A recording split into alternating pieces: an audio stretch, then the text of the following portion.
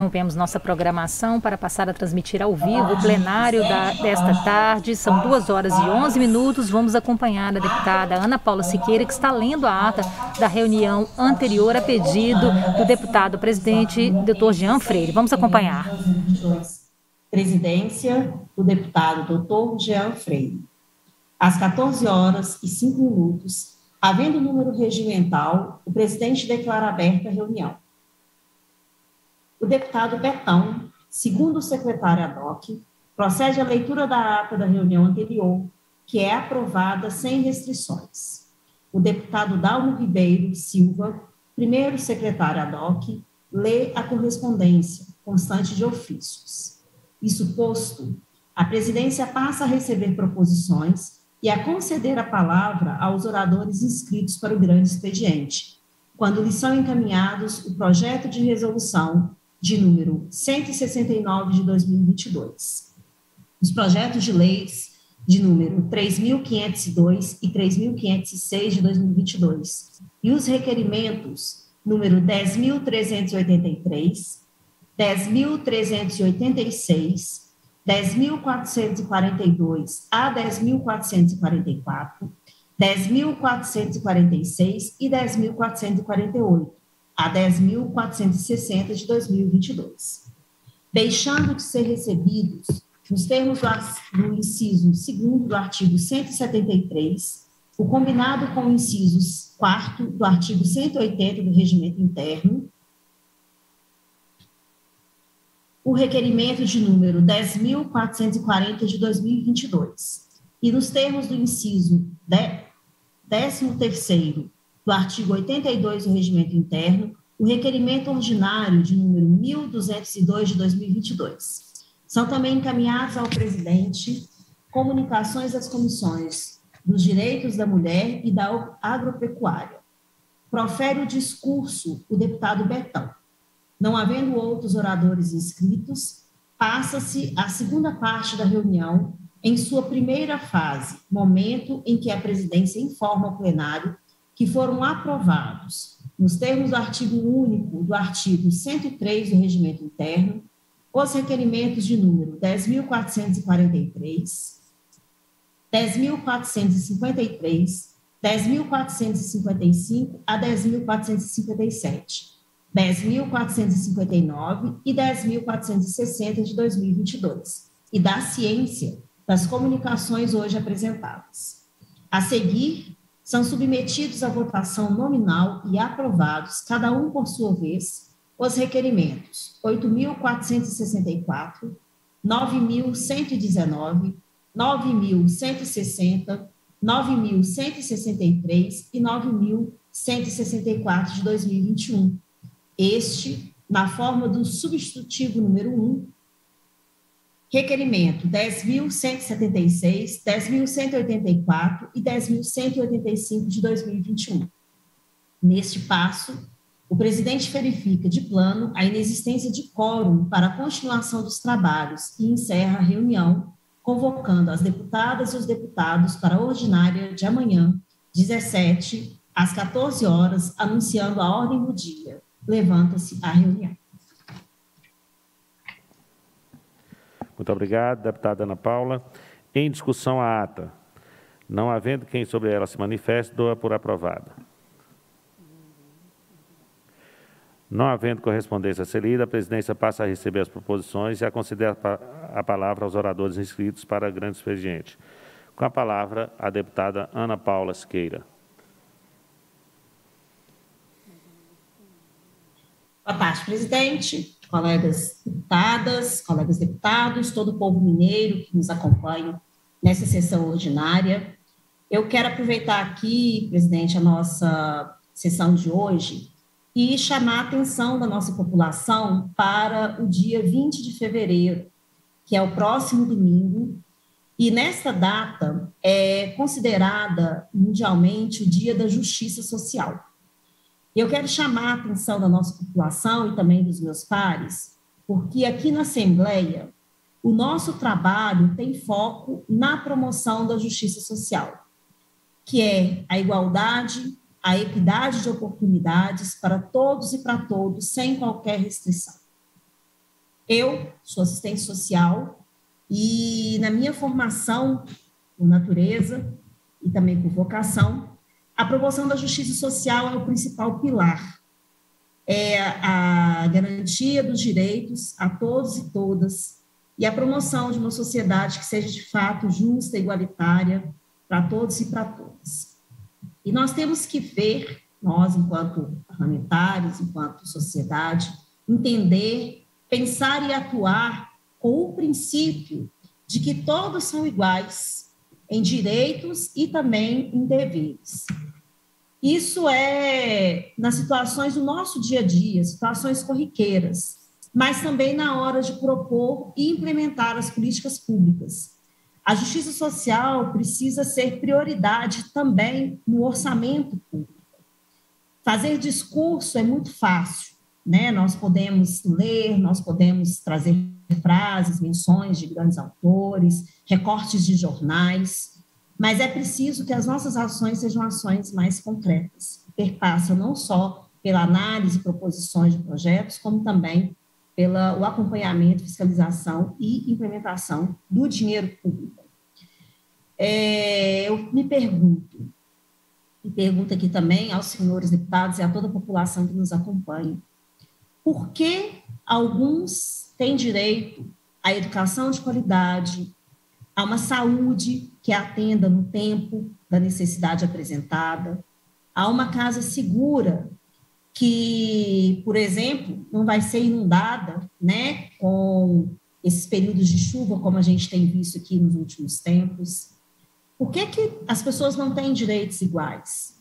Tudo bem, em relação às chuvas, alguém pode dizer aqui, ah, mas nós estamos vivendo períodos atípicos, com questões climáticas que impactam né, no volume de água ou numa seca muito intensa, o que é verdade.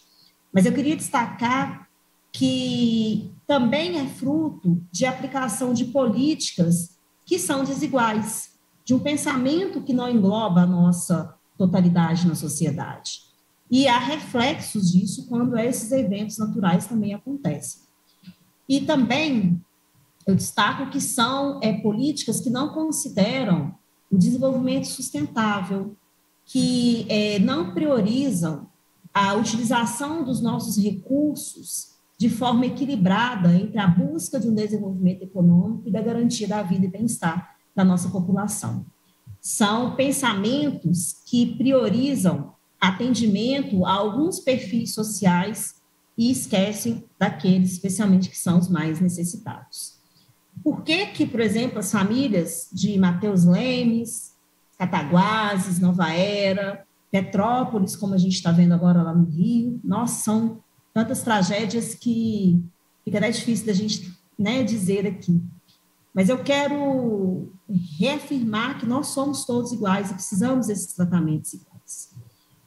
Por que, que certos direitos básicos, presidente, são restritos a alguns, como, por exemplo, o direito à água, ao saneamento básico, a estradas com qualidade, a gente percebe que essas estradas de Minas, mesmo antes da, das grandes tragédias, as chuvas agora de janeiro, as estradas são transitáveis, como que nos levam, por exemplo, o Vale de Jequitinhonha. As pessoas usam aquelas estradas para fazer tratamento de saúde, hemodiálise, né? já saem de suas casas em situação debilitada e passam por aquele constrangimento que é como o acesso para o Vale de Jequitinhonha. A segurança alimentar, ela chegou a atingir 60% dos lares brasileiros no ano passado. Mais da metade do nosso país passou por alguma situação é, de necessidade e de não ter acesso pleno à comida, o que é básico, né?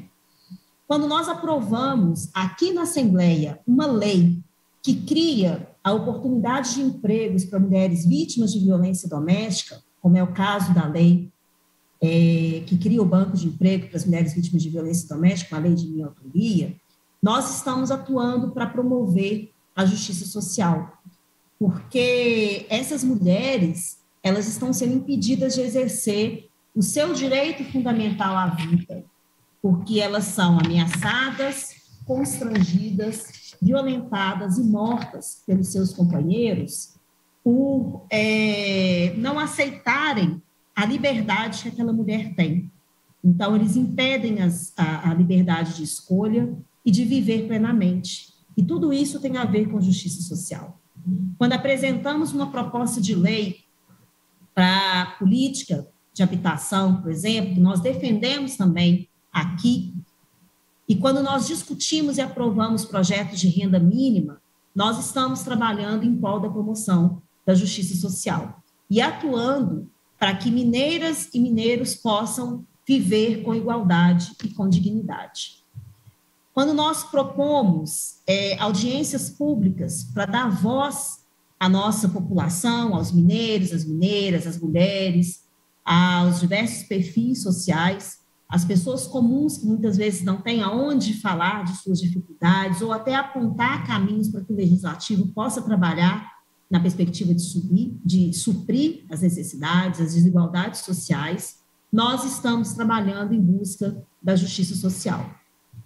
Eu venho dos movimentos sociais da Igreja Católica e nós sabemos que muitos dos trabalhos da igreja têm essa vertente nas suas ações pastorais, nas suas ações comunitárias, nas paróquias, nos conselhos, né, no sentido de promover a justiça.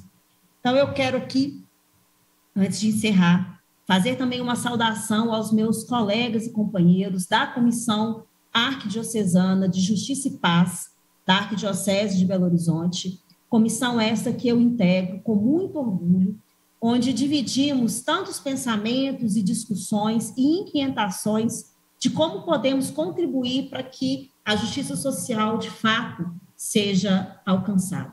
Né? Cumprimentar aqui, inclusive, meu colega é, deputado federal, Pratuz Ananias, que compõe também a comissão comigo na Arquidiocese. É inadmissível que nós possamos continuar nesse modelo de desenvolvimento econômico que só amplia as desigualdades, que não oferece oportunidades àqueles que é, precisam, é, amplifica, ampliam, na verdade, as condições daqueles que já têm. Então, pensar que as políticas públicas precisam chegar de fato às pessoas que não são números, não estão nas tabelas, as pessoas estão vivendo as suas vidas e merecem vivê-las com dignidade. A justiça social é também um exercício da nossa democracia. Precisamos mudar essa chave. Inclusão, empatia, igualdade, equidade são palavras que norteiam os nossos trabalhos, que norteiam a atuação do meu mandato aqui na Assembleia e que precisa também nortear os trabalhos de todos os agentes públicos. Eu quero terminar deixando aqui é, a minha fala, nesse, nesse pronunciamento de hoje, uma reflexão e um desafio para que todos nós possamos juntos promover a justiça social em Minas Gerais e também no Brasil. Então, presidente, é, como assistente social, como professora, como mãe, como cidadã mineira e brasileira, fica aqui a minha reflexão e o meu compromisso de continuar trabalhando em prol da justiça social, que é a promoção de uma vida mais digna para todos. Muito obrigada. Muito obrigado, deputada Ana Paula. Parabéns pelo belíssimo trabalho que faz em todo o estado de Minas Gerais. Não havendo outros oradores inscritos, a presidência passa a segunda parte da reunião, com a primeira fase da ordem do dia, compreendendo os atos da presidência, as comunicações, a apreciação de pareceres, requerimentos e indicações. Estão abertas as inscrições para o grande expediente da próxima reunião. A Comissão de Administração Pública comunica a apreciação conclusiva de matéria na reunião extraordinária 16 de 2 de 2022, Ciente Publix. A presidência encerra a reunião e convoca as deputadas e os deputados para a reunião ordinária de terça-feira, dia 22, às 14 horas, com a ordem do dia a ser publicada. Levanta-se a reunião. A reunião ordinária desta tarde foi encerrada pelo deputado Dr.